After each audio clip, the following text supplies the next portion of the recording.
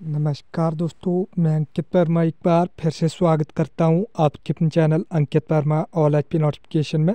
तो दोस्तों, जैसा कि आप थंबनेल पे देख ही चुके हैं कि आज की इस वीडियो में मैं आपको आज 24 जनवरी 2024 की हिमाचल प्रदेश की आज की सभी ताज़ा खबरों की जानकारी इस वीडियो में देने वाला हूँ। चलिए वीडियो को शुरू करते हैं, शुरू करते हैं आज की सभी ताज़ा खबरें। तो देख सकते हैं आज की पहली ताज़ा खबर ब्रेकिंग न्यूज़ है। हिमाचल प्रदेश में सूखे से 15 से 25 फ़ीसदी पेयजल योजनाएँ प्रभावित हुई है। हिमाचल में पिछले तीन माह से बारिश न होने का असर पेयजल योजनाओं पर पड़ रहा है। प्रदेश भर में पंद्रह से पच्चीस फ़ीसदी तक पानी की स्कीमें प्रभावित हुई हैं। इन योजनाओं के पानी में पचास फ़ीसदी तक की गिरावट आई है। सबसे ज़्यादा दिक्कत शिमला, कुल्लू, कांगड़ा, सिरमौर और अन्य जिलों में हो रही है। आने वाले दिनों में मौसम राहत दे सकता है। बता दें कि बारिश और बर्फबारी न होने से प्रदेश की सबसे बड़ी बिजली परियोजना, नाथपा, झाकड़ी समेत अन्य बिजली प्रोजेक्टों में भी विद्युत उत्पादन प्रभावित हुआ है। इलेक्ट्रिसिटी ड्यूटी, हिमाचल से उद्योगों का पलायन रोकने को छः फ़ीसदी बिजली शुल्क घटाने की तैयारी। हिमाचल के, से उद्योगों का पलायन रोकने के लिए सरकार बिजली शुल्क में छः फ़ीसदी तक कटौती कर सकती है। सितंबर में उद्योगों के लिए बिजली शुल्क 11 से बढ़ाकर 19 फ़ीसदी कर दिया गया था। इसे कम कर 13 फ़ीसदी करने का प्रस्ताव है। यह वजह वजह यह है कि जम्मू कश्मीर, पंजाब, हरियाणा और उत्तर प्रदेश में हिमाचल के मुकाबले उद्योगों को अधिक रियायतें दी जा रही हैं। गोबर खाद खरीद, हिमाचल के चार जिलों से 1100 पशुपालकों की सूची तैयार, सर्वे के बाद होगी छंटनी। हिमाचल प्रदेश में गोबर खाद की खरीद शुरू करने के लिए सरकार ने उपमंडल स्तर पर पशुपालकों का चयन करने की प्रक्रिया शुरू कर दी है। पशुपालन विभाग ने चार जिलों से पशुपालकों की सूची तैयार करवाई है। जिला शिमला, कांगड़ा, चंबा और हमीरपुर से करीब 1100 पशुपालकों की सूची तैयार की गई है। H P R C A Hamirpur O T A भर्ती के आवेदकों की छटनी के बाद कंपनी को ब्यौरा सौंपेगा आयोग। बुधवार को राज्य चयन आयोग कार्यालय हमीरपुर में मुख्य प्रशासक अधिकारियों के साथ बैठक करेंगे। इसमें तमाम पहलुओं पर चर्चा होगी, साथ ही अन्य भर्ती परीक्षाओं के परिणामों को लेकर भी चर्चा हो सकती है। ड्रग अलर्ट हिमाचल में बनी 40 दवाओं के सैंपल बाज़ार से स्टॉक वापस मांगा हिमाचल में बनी 40 दवाओं के सैंपल मानकों पर खरे नहीं उतरे। ड्रग विभाग सैंपल फेल होने वाले उद्योगों के खिलाफ विभाग कार्रवाई अमल में लाएगा। साथ ही बाज़ार से स्टॉक वापस मांगने को कहा गया है। यह पहला मौका है जब इतने ज़्यादा सैंपल एक साथ फेल हुए हैं। हिमाचल न्यूज़, हिमाचली युवाओं को विदेशों में भी नौकरी दिलाएगी सरकार। सीएम सुक्खू ने अधिकारियों को दिए निर्देश। हिमाचली युवाओं के लिए विदेशों में नौकरी के अवसर तलाशने के निर्देश दिए हैं। मुख्यमंत्री ने मंगलवार को शिमला में प्रशासनिक सचिवों की साप्ताहिक बैठक में हर माह के अंत में अंतिम दो दिनों में राजस्व और लोक अदालत आयोजित करने के निर्देश दिए हैं। हिमाचल वेदर कई भागों में पाँच दिन बारिश बर्फबारी के आसार सात स्थानों पर न्यूनतम तापमान पारा जो है माइनस में हिमाचल प्रदेश के कई भागों में लगातार पाँच दिन बारिश, बर्फबारी के आसार हैं। मौसम विज्ञान केंद्र शिमला के अनुसार एक ताज़ा पश्चिमी विक्षोभ, पच्चीस व दूसरा सताईस जनवरी को सक्रिय होने की संभावना है।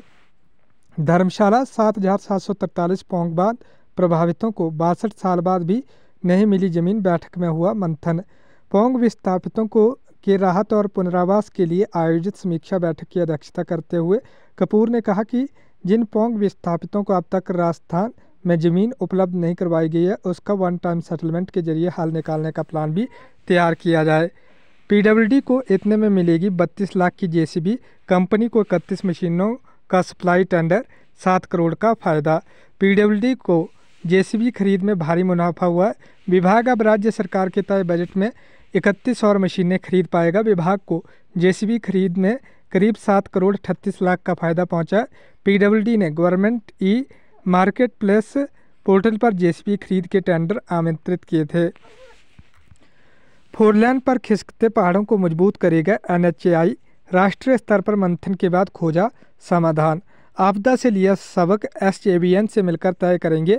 भविष्य राष्ट्रीय स्तर पर मंथन के बाद खोजा समाधान।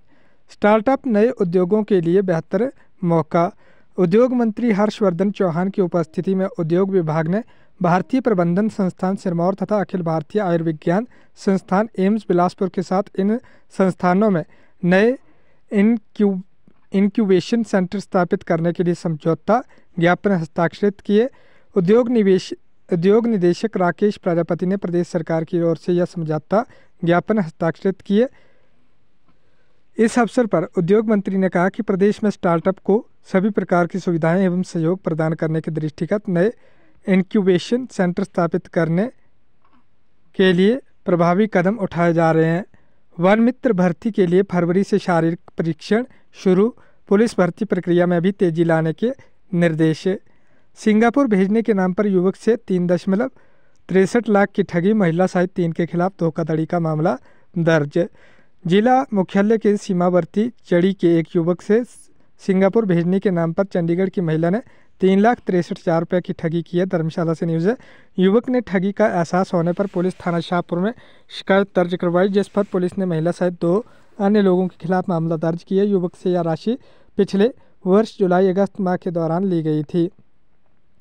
उन्ना पंजोआ लडोली में बाइक, स्कूटर की टक्कर, युवक की मौत ऊना ज़िले के तहत पंजोआ लडोली में बाइक व स्कूटर के बीच हुई टक्कर में बाइक चालक की मौत हो गई। पुलिस ने मामला दर्ज कर आगामी कार्रवाई शुरू कर दी है। पुलिस के अनुसार सोमवार रात करीब आठ बजे नंदपुर नहरिया लिंक रोड पर पंजोआ लोडली, लडोली में बाइक व स्कूटर की टक्कर हो गई। सड़क हादसे के दौरान बाइक चालक सिर के बल सड़क पर गिर गया, जबकि स्कूटर सवार मौके से स्कूटर सहित भाग गया। गंभीर रूप से जख्मी हुए बाइक चालक अंकित सताईस वर्षीय पुत्र देशराज निवासी पंजोआ लडोली को निजी वाहन से तुरंत सिविल अस्पताल आम लाया गया, जहाँ डॉक्टरों ने उसे मृत घोषित कर दिया।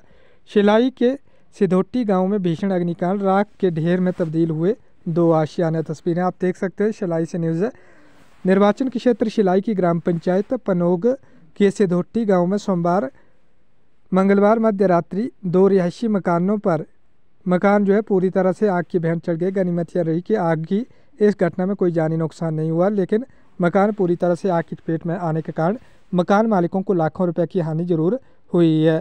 तो दोस्तों, ये थी हिमाचल प्रदेश की आज की सभी ताज़ा खबरें। अगर आपने अभी तक वीडियो को लाइक नहीं किया है, वीडियो को लाइक करके शेयर कर दें और चैनल को सब्सक्राइब करना बिल्कुल भी ना भूलें।